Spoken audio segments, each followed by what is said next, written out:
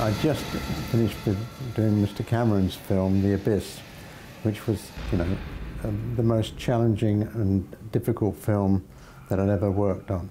I mean, it was a massive undertaking. I had with me on that film, it was Daren Dochterman, and he, he, had, he learnt a lot too. I worked with the production designer Les Dilley on his previous film, The Abyss, which was actually the first movie that I worked on you know, he was a good boy and um, learned a lot, and he's become a very good art director.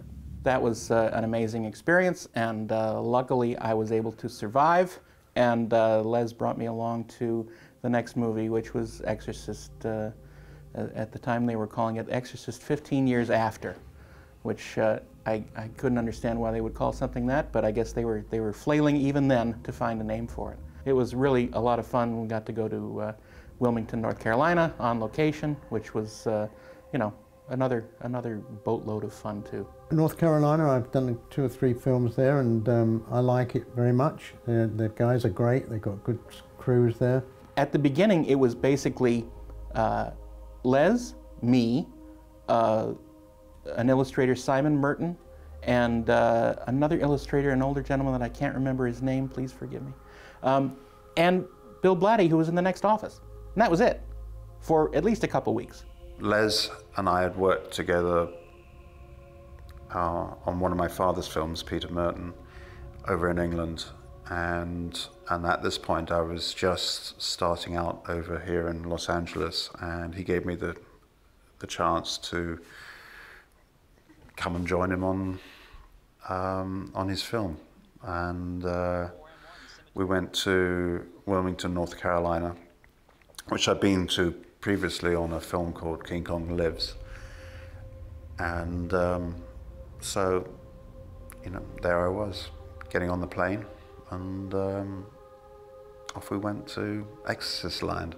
And that was a lot of fun. When I first came in, I was wearing my Abyss crew jacket, and I had my name sort of embroidered on it. And, you know, Daren kind of looks like Damien from, uh, from far away. And Blatty took one look at that and said, what is, is your name Damien? I said, no, no it's Daren. Said, oh, that was that was a little bit scary. so he was the first time I met him, he was uh, he was uh, scared of me.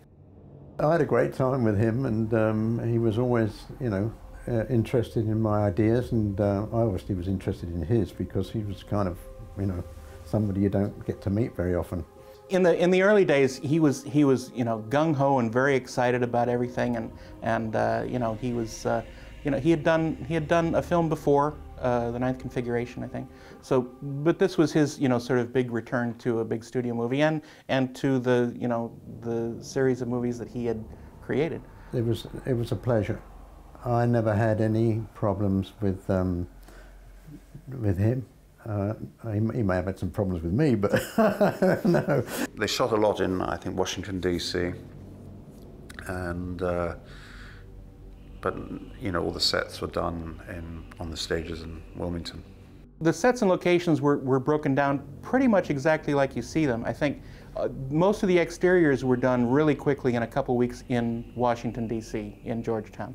Um, and that was the main sort of uh, exteriors. I think we had a couple other exteriors in the Wilmington area, but everything inside on the sets were built uh, at the DEG stages in Wilmington. Uh, that hospital set was a big deal and it worked and it was built and um, and there were several things that I liked about it. The hospital set, which was all contiguous, all the hospital rooms and the and the disturbed ward, all that was in a contiguous set, so it was all attached by actual hallways and everything. We did a fun a fun gag on one of the end of the hallways. Uh, that Les was very proud of because he, he loves doing this kind of thing, a forced perspective at the end of the hallway. Because you can, can, can, create the depth with smaller people at the back end, they're walking left and right and a bit forward and back, but you can't do it for too long. But um, you know, if you walk down there too far, you'll be in the miniature area. We had uh, arches in the hallways and we built consecutively smaller arches that made the hall look, you know, like three times bigger. And you look at it with the camera, you can't tell because you force the perspective. It's calculated from you can pan round and go face down it and everything else. And of course, it'll come to lunchtime and there'll be people chatting and they're all going to go off to get lunch. and they're all walking down the forced perspective, and it, it happened time and time again till they get to the end and they've got they're meeting the little guys that have got the, clothing, you know, the small clothing on and everything else, and they go, oh, crying. And that was fun. We had that on, uh, you know, the end of the long hallway. And then, of course, people are talking to each other when they're going along, and they're not taking any notice about it. And then, then suddenly they find they're at this height, you know, about to hit their heads. But that was an impressive set because you know when if you sort of squinted, you were in a hospital, and that that was it, you know. And you turn the corner, and oh no, it's another decapitated statue, but which happens. There are some full tracking shots, and you know it's there are a couple different reasons to build a set like that contiguous eh, because it's honestly it's better for the actors to you know to make them feel at home in this you know as if they were on location. It also helps with something like that that you don't have to do a lot of tricks to you know like fake a room somewhere else and then sort of you know you know pan the camera really fast into into a, another set to make you think that you're on the same set. And uh, having everything there was uh, was really you know easier for the production crew so they don't have to go anyplace else and uh, it's it's much easier for the actors so that they could really get into the scenes the lady crawling on the ceiling, which was a you know a technical challenge in those days. You know, it wasn't a CGI thing; it was um, a real thing. And they, they asked me how, how we're going to do it. I said, well, we'll have to you know build the ceiling upside down, put it on the ground, and and um, have the lady crawl over it and shoot it, and then put it up on top of the film that we've shot below. And it worked. I, I saw it just recently, and it was pretty cool. She's racing across there, looking and quite scary. The, you know, all the symbolism of the, you know, the, the decapitated statues and the Joker face on the uh, bishop statue, that, that was supposed to be the Joker. I mean, Blatty said, I wanted to be the Joker. And so we had Brian Cole, our sculptor, sculpt up a Joker face. It shows up for what, three seconds? But you know exactly what it is, and it's frightening as hell. My job, from what I can remember, was to do the storyboards and do some keyframe um, illustration work. My storyboards were more like um, for the visual effects shots and prop making stuff. What I am most proud of, though, in the film was I got to design those shears. I don't know why anyone would use these. I really don't. But they're certainly, they're certainly, they turned out to be an iconic thing. And uh, that was one of the first things that I actually got to work on back when we were in Los Angeles with uh, William Peter Blatty looking over my shoulder.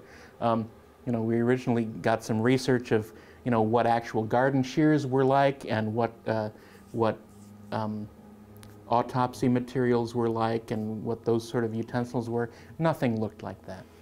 Nothing looked like that. But that's what he wanted. He wanted something that was completely unbelievable and treat it like it was real uh, because it, it's just horrific uh, you know, we, I think we called them, uh, we, we called them the pig cutters because you could slice a pig in half with it.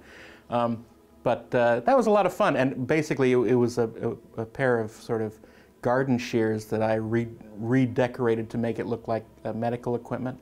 And uh, Doug Fox, the prop master, made a bunch of those. I was so happy to see those when they, you know, finally uh, were done because it was exactly like I drew them, and that, that, was that was one of the first things that I actually drew that actually got made in a movie, and that was a lot of fun. I remember the shears for certain. Yeah, I can't remember. Yeah, I do, and it was a scary thing. They had to be, you know, they had to be noticeable, and you know, the first time where the uh, autopsy uh, uh physician uh, lifts them up, you know, and they add that wonderful sound effect to it.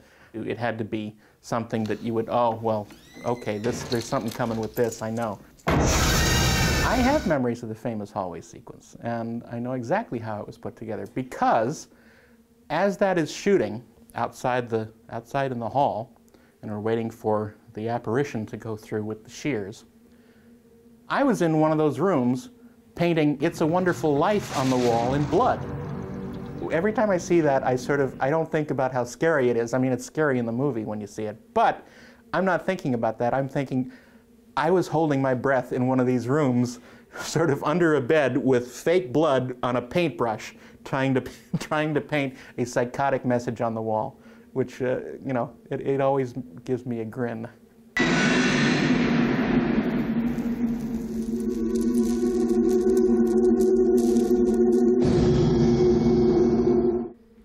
My other favorites was this sketch we did of um, this huge big room, which is meant to represent heaven with all these angels, with all these um, hospital beds in.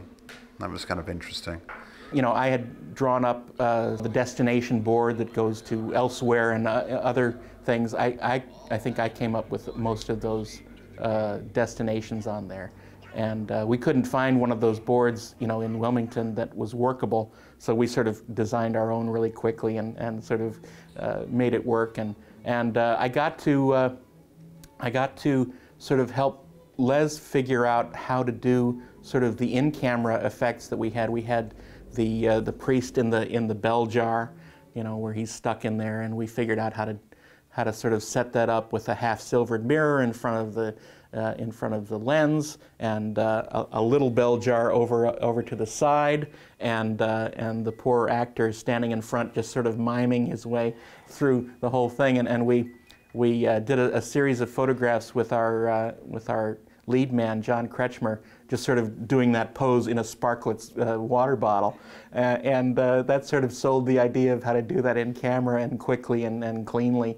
And I guess uh, Gerry Fisher, the DP, really hated that because it took so long to set it up, but you know, it looks good in the movie.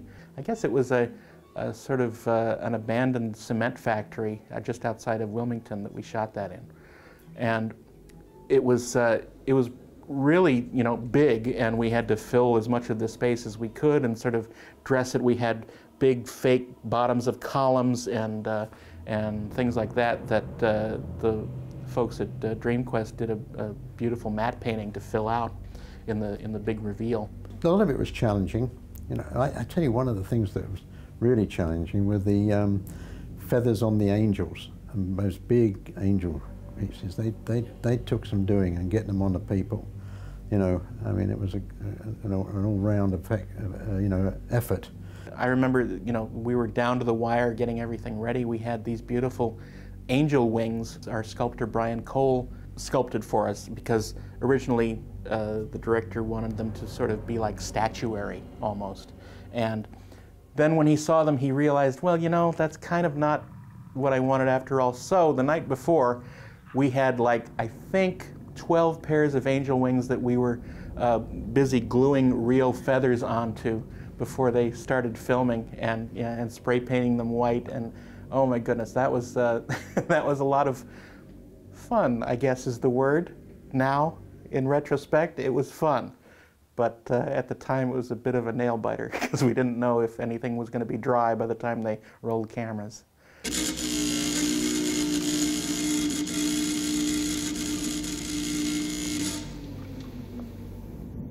Brad Dourif, uh, who is absolutely incredible in the release version, um, I remember seeing his scenes in the original room at Daly's because I had drawn up that original uh, cell that he was in, which looked uh, a heck of a lot like uh, a medieval torture room made out of uh, stone walls and uh, dripping stones and a big drain in the center of the room. It was very sort of Gothic and medieval.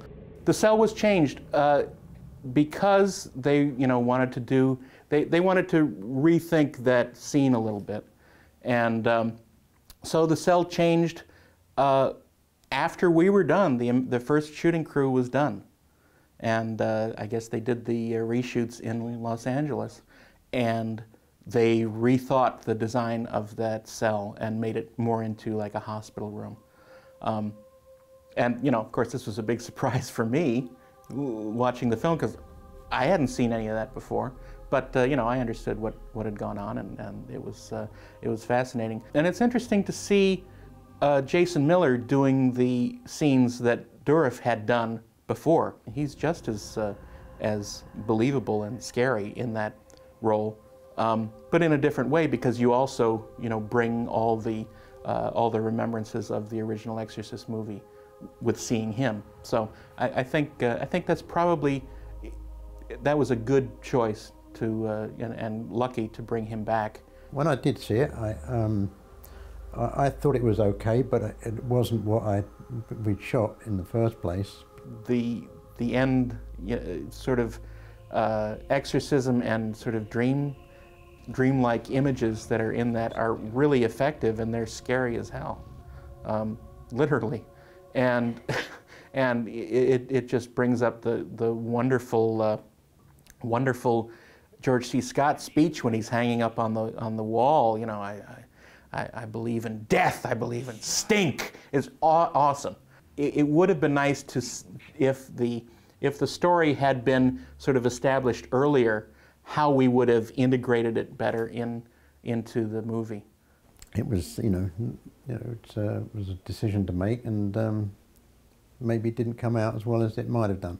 You know, the thing is, we never really had the last pages of the script during shooting. They were never released to us. So we knew that something was going on in terms of them trying to figure out what the, what the final, you know, the final section of the movie was going to be about. Um, when I saw the movie, it, it, because I wasn't familiar with it and I was so familiar with everything that we had shot, it was a little jarring to me, especially the uh, Nicol Williamson scenes, uh, which were sort of lit a little differently than uh, the rest of the film. And uh, I mean, the, I think they, you know, in the the story, I think works. It seems to me, it seemed a little bit tacked on, just a little. But I think a lot of that had to do with my familiarity with uh, the rest of the, of the film as we had shot it. I saw it just recently, just to, so that I could talk to you and still remember it because such so many things since then. But um, you know, I, I, liked the film. I, I, did. I thought it was well done, and it was you know scary and um, interesting stuff. It's a quality movie and it has great characters in it. It has great dialogue. I'm so pleased that, you know, here we are many, many years later talking about it, and it's very exciting. And it's, it's one of the films that I'm, you know, especially glad to have on my resume.